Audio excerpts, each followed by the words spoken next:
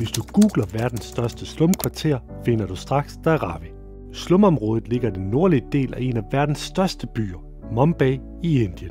Det er et af de tættest befolkede slumkvarterer i verden. 1 million mennesker lever på blot 2,3 kvadratkilometer under kummerlige forhold. Vi har sat os for at få et indblik i livet i slummen med egne øjne. Til det formål har vi allieret os med en lokal guide, der vokset op i slummen og kender de labyrintagtige gader og områder ud og ind. Vi er tilbage i Mumbai. Det er vores aller sidste dag på ferien i denne omgang.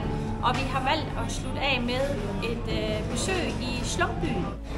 Vi skal på en rundtur i Asiens største slumkvarter. Der bor 1 million mennesker, og området kalder de for Darwin. Dharavi. Vente på, at han er færdig med at spise det og at drikke. So Dharavi slum is on the other side of the railway tracks. From here we'll take a cab and we will do a 5 minutes uh, drive in the cab and the, where the cab will drop us from there we will start walking. But because we are a big group we'll have to take two cabs. Okay? Vi er her ved togstationen, hvor vi lige venter på vores guide, som finder et par taxaer. Bag ved togstationen, der er slum. Det skal vi så ud og se på. Skal vi lige en taxa? Hallo? Ja, ja, ja. Uh. Ah. Hold op. Okay. is the problem. Okay, okay, okay. Er lige... This is the problem. What to do? Okay.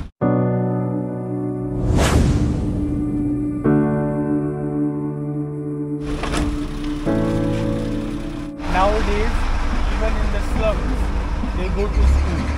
But uh, getting into college is very expensive. So a lot of young adults in Dharavi, they get uh, basic education until 16, but they are not able to get uh, into colleges, and this doesn't really help them to you know move out because if you go to college, you get a degree and you get a better job. But they can all read and write. Yeah, most people can read and write. Første del af vores guidede tur tager os igennem et område med små produktionsvirksomheder. Ja, faktisk anslås det, at der er op til 20.000 små virksomheder eller enkeltværelsesfabrikker i slummet. Det er alt lige fra læder- og keramikfremstilling til det helt nye hotte, nemlig plastikgenbrug industrien. Det er hårde betingelser at arbejde i slummet. På en lille sæbefabrik snakker vi med nogle ansatte, der har et fysisk krævende arbejde 14 timer om dagen alle ugens dage. Holdes en fridag om måneden, er det fordi kroppen siger stop. For at holde udgifterne nede, sover alle de ansatte på fabrikken. Du spørger sikkert, er det farligt at besøge Dharavi? Svaret er et klart nej. Der var mange nysgerrige blikke, men vi følte os i ganske trygge hænder under vores guidede tur. Faktisk er kriminaliteten lav, men det betyder ikke, at Dharavi ikke er uden sine udfordringer. Vand, spildevand, pladsmangel og begrænset adgang til toiletter og uddannelsesprogrammer er blandt de alvorlige udfordringer, som slummet har. De færreste indbyggere i Dharavi har adgang til eget toilet. De fleste bruger nogle af de offentlige toiletter. Faktisk er der lavet en undersøgelse, der viser, at i gennemsnit er der under et toilet per 1400 indbyggere. Jeg er færdig med det her skralderi. Jeg kan ikke lide det her skralderi. Jeg er ude af det her.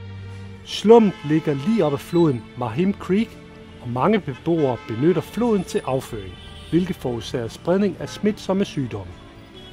Luftforureningen i slummet er rigtig høj. Det resulterer i stor forekomst af sygdomme, såsom lungekræft, tuberkulose og astma blandt beboere.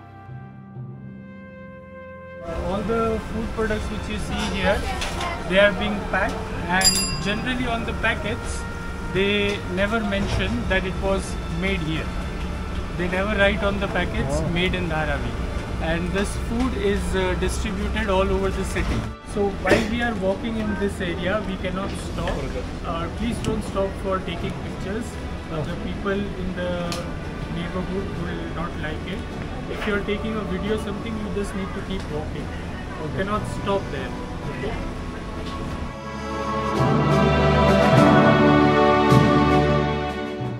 Det er sådan et vildt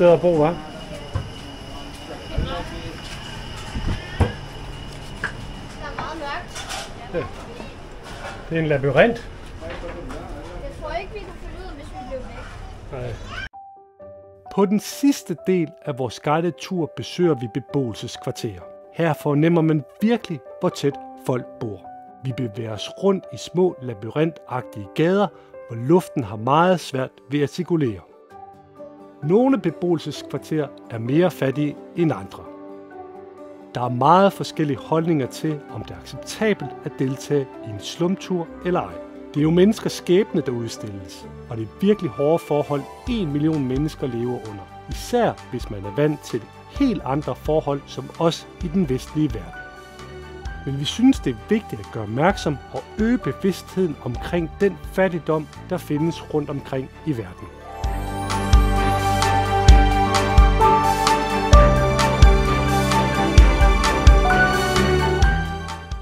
Faktisk en utrolig spændende tur.